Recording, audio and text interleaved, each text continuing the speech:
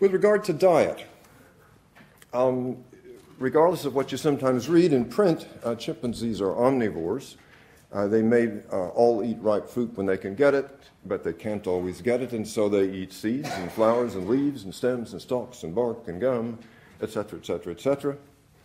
Particularly social insects are taken in a variety of chimpanzee populations by extractive foraging, assisted by tools. And then there is hunting and predation on small mammals, especially monkeys and young ungulates. So if we focus first on faunivory, on the consumption of animal matter, uh, this is a chance to do some bonobo chimpanzee comparison. It turns out there are some similarities. We now know that those hippie uh, bonobos uh, also take down monkeys and consume them just as avidly as uh, chimpanzees do. But we also know that there are differences, differences that you wouldn't find um, in the fossil record but to do with the distribution of the meat that results from the hunts carried out by the apes. So when chimpanzees hunt, the meat distribution is dominated by the males, and there is wide variation in the amount, sorry, in the patterning of that distribution. Sometimes it's to other males in political alliance, sometimes it's to females, and so on. For bonobos, it's female dominated meat distribution, and it's primarily to other females. Why do these meat sharing episodes occur in these chimpanzees. I think that's where we could be of some use because there are a number of hypotheses out there that we're trying to test. Uh, various things have been put forward as possible explanations uh, intimidation, which is not very interesting, harassment, which gets a little more interesting when you think of panhandling, but reciprocity, alliance, courtship, and even micronutrient, micronutrients have all been put forward as possible reasons that meat should get shared. And I just picked two uh, examples from that list. Recent work uh, at Taï shows that meat for sex does work in the long run. That is, males who give meat to females have a higher probability of mating and conceiving their offspring later. Whereas other hypotheses, like the meat scrap hypothesis, hasn't uh, held up so well because it, an alternative is that micronutrients that come from animal matter are, are much more easily uh, acquired by uh, eating insects than by chasing monkeys around in the treetops. I mentioned scavenging just in passing, but I have nothing much to offer. Um, we've had uh, anecdotal accounts of scavenging in a variety of chimpanzee populations, but it's never achieved anything beyond anecdotal status. Now we've got David Watts' systematic study from Ngogo based on more than 10,000 hours of observation, and it remains something that's rare and probably unimportant. So this is one area where I don't think uh, chimpanzee studies has much to offer. With regard to herbivory or the consumption of plants, I'll just pick out two particular types where we've had some recent progress.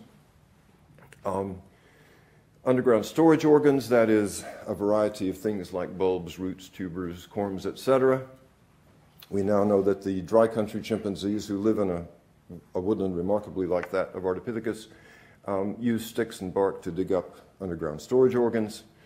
And we know that the Tongo chimps um, dig up by hand tubers, not for uh, food but for water. And then we have cases of crop raiding chimpanzees who uh, go for underground storage organs in domesticated plants. Chimpanzees do eat monocots. Um, they do eat grass, uh, sedge and palm, when, when those are available. But they don't eat the seeds or the corms, they eat the pith.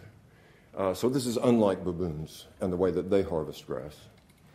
The pith is typically not swallowed, but is spat out as wadges after it's been sucked dry. And on the left, you see an example of some of the characteristic wadges that are produced when chimpanzees suck on the pith of the phoenix palm. Uh, chimpanzees do share plant foods as well as animal foods, we now know, thanks to recent work from Bossou.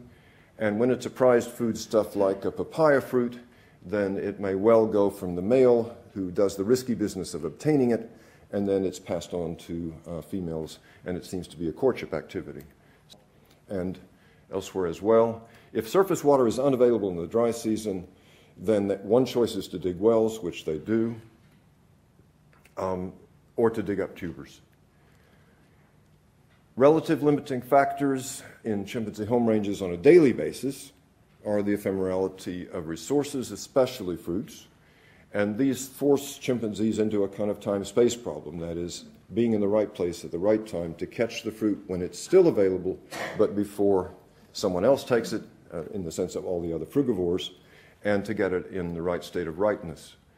And we now know that chimpanzees uh, use uh, Euclidean mental maps as a way to navigate around the forest to solve this space time problem, um, as opposed to, say, something, uh, an alternative form of navigation, which would be orientation by landmarks. And we now know that chimpanzees have sufficient spatial memories that they can remember the location of thousands of individual trees. Um, Normand, the student of, of, of Boesch's at Taï, uh, actually mapped uh, thousands of these trees.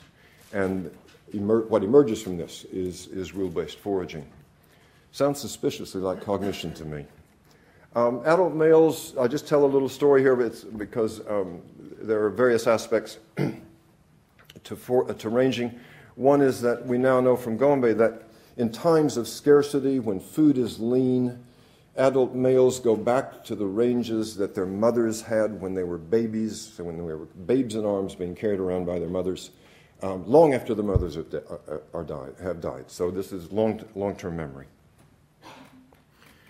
So let me follow with some assertions. Um, the, the, the, last common ancestor was not a chimpanzee, was not a bonobo, gorilla, or any kind of cherry-picked combination of those, most likely. Um, living apes and humans, as well as uh, extinct uh, apes and hominins, were all derived relative to the LCA, as revealed to varying extents by the fossil record. Varying extents meaning that in the case of apes, we don't have much. But the important point to be made here is that inferences about function and performance that are based on structure alone that is, where the modeling is based solely on neural or skeletal material, underestimate repeatedly what chimpanzees actually do spontaneously in nature. So, all of these things bipedality, thumb forefinger opposition, long distance travel, aim throwing, male patrols, hunting, object transport, cooperation, spatial navigation, etc., are things which people speculating on the basis of structural material have, have imposed constraints upon or have said could not be done by apes, but in fact are. And that's the source of much of the knowledge that goes into any form of modeling, whether it's referential or non referential. So I think hypothetically crediting the LCA with the abilities of Pan is not an unreasonable thing to do. So I'll just finish with some hypotheses which seem to me to be reasonable ones to throw out about the LCA based on what we know about chimpanzees from recent findings. The LCA probably had a toolkit, tool sets, tool composites, and compound tools for a variety of activities uh, for subsistence, shelter, self maintenance, and sociosexual activities. Um, organic technology was highly probable, but archaeologically invisible, while I suspect lithic technology has been underestimated. Behavior and artifacts vary both within and between populations of apes, and probably did so with the LCA, uh, probably beyond basic environmental constraints. Subsistence technology probably involved transport and reuse of artifacts, which were recycled and retouched because we find all those things in chimpanzees today. Percussive lithic technology was likely to be important and probably left diagnostic traces in terms of wear patterns. I think compound tools and tool composites were probably less important, if for no other reason than one of the constraints that chimpanzees have, or at least as far as we know so far, is that they don't have meta tools, that is, they don't use tools to make other tools. Um, the LCA probably practiced opportunistic and tool assisted omnivory, both in acquisition and processing. Probably minimal harvesting of seeds and UC, uh, USOs, probably because uh, containers are important to make that kind of acquisition uh, energetically efficient. And as far as we know, apes in nature don't use containers. The LCA probably ranged widely, seasonally, informedly, and intelligently. Climatically, uh, I'm guessing that the LCA was probably more constrained by hydrology than by rainfall in terms of access to surface water. LCA probably hunted and gathered, but did not scavenge, both invertebrates and vertebrates and probably slept socially in beds at bivouacs or even at seasonal home bases.